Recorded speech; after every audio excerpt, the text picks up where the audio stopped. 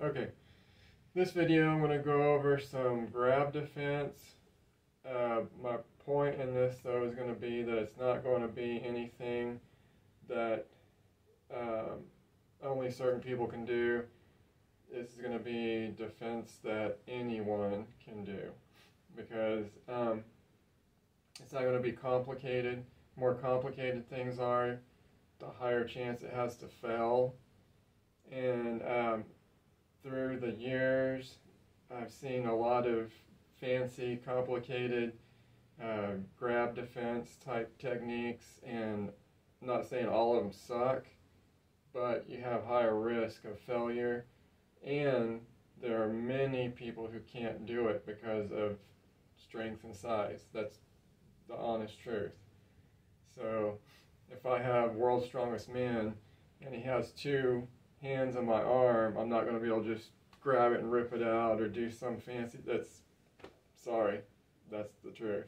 That's the truth. So I want to go through some defensive things that it doesn't matter your strength or your size, a child can do it. So, all right, first um, is going to be the idea that you don't even want to let them grab you, right? This is something I heard about um, years ago that I've learned about, and I don't ever see anyone really talking about it or teaching it anymore.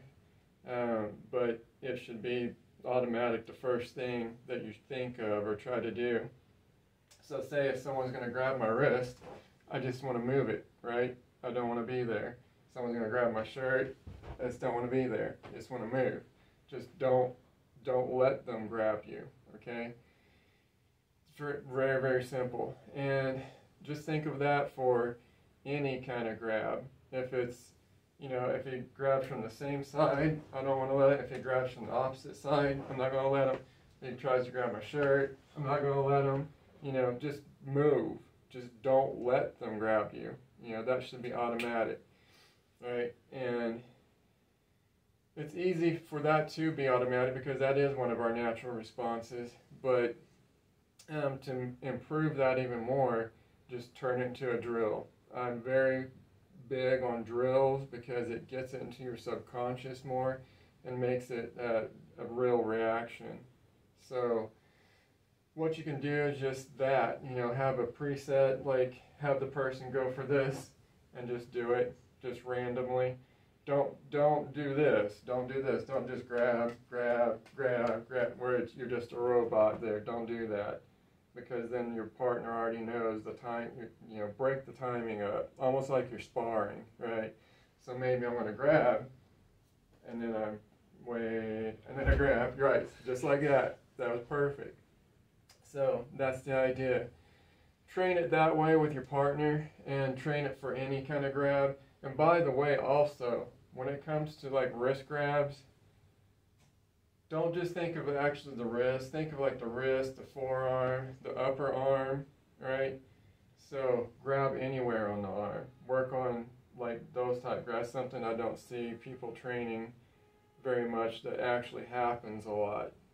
So work on grabbing different parts of the arm, both arms, two on one, grabbing the chest, grabbing the neck, any kind of grab, okay? And um, then after that, we're going to go to another phase here, something else you can do that's simple that anyone can do.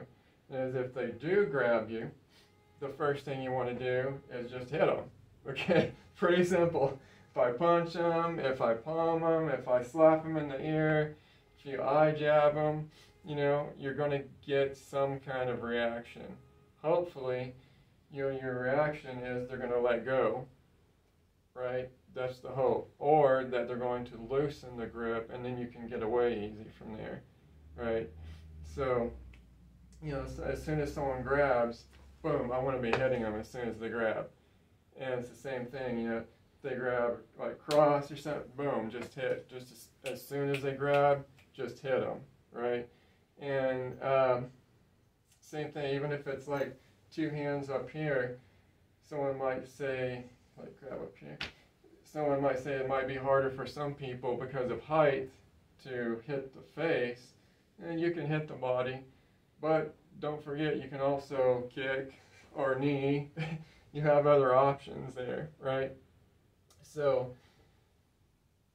just practice as soon as they grab, wherever the grab is, is to hit, okay?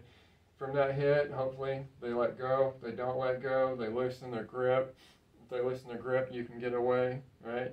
And the same thing, drill that the same way. Just have your partner grab different, first start off, just same place over and over, get that repetition in so it sinks into your head, and then just grab wherever and have your partner just, just punching, right? Don't hit each other, of course, don't hurt each other. Um, yeah, so um, always be responsible when you're training and don't hurt your partners. Don't randomly just hurt whoever, you know. Only use these things to defend yourself. That's it. Uh, next would be okay, they grab. I hit the person.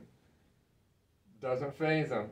Maybe they're on something, maybe they just have a high pain tolerance, whatever. So they grab, I hit them, they still have a good grip on me. Now we go to clearing it off. Remember in the blocking video that I made, I was talking about using palm, the palm block here, whether it's high or low, right?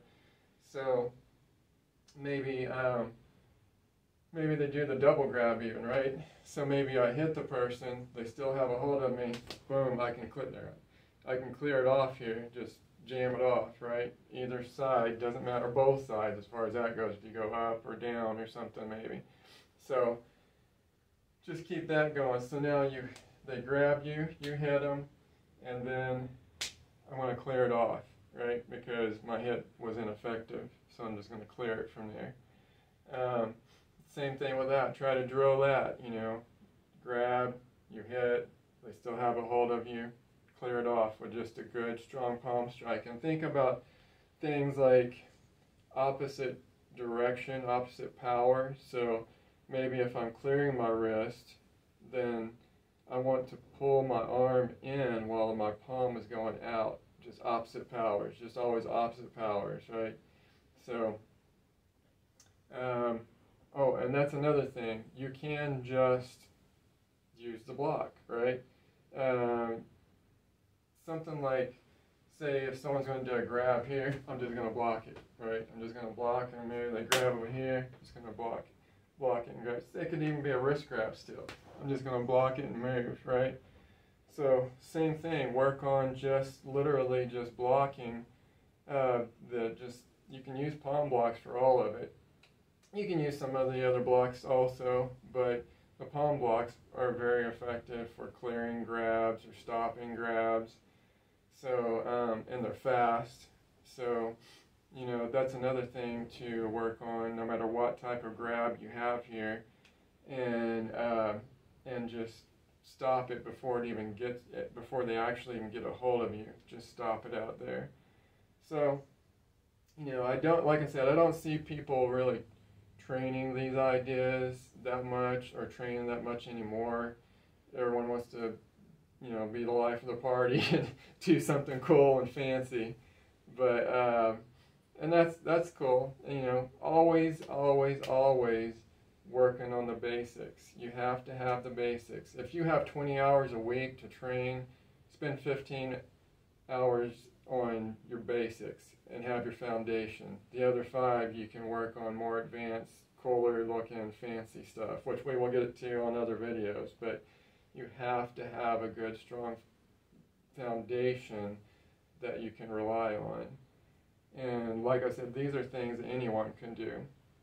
And I, the closest thing I see to anyone really continuously doing this and putting it into practice uh, all the time is something like uh, wrestlers. I see wrestling uh, people do that. You know, if someone goes to do a shot, what what do you, what's one of the counters? You know, is to just pancake out on it, which is keeping the person from is moving.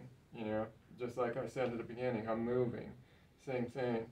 Uh, if someone gets a tries to go for a single and they're grabbing one of the counters is just to clear it off with the hand. So they're the closest group of people that I see nowadays that are like continuously working on these things, whether they're conscious of it really, of those ideas or not. But um, so, yeah, just uh, work on those ideas. Doesn't matter who you are. You don't have to be strong or big, or if you are strong and big, it still works. Doesn't make any difference whatsoever. So those these these techniques will work for anybody, and uh, very easy, very simple. Anyone can do it. Just train it, drill it, uh, work on the drills, and uh, so that it sinks into your head, right? And something that I want to mention too is when you're training martial arts, always keep in mind the laws of your state and or city and stuff like that. Try to work with it as much as you can.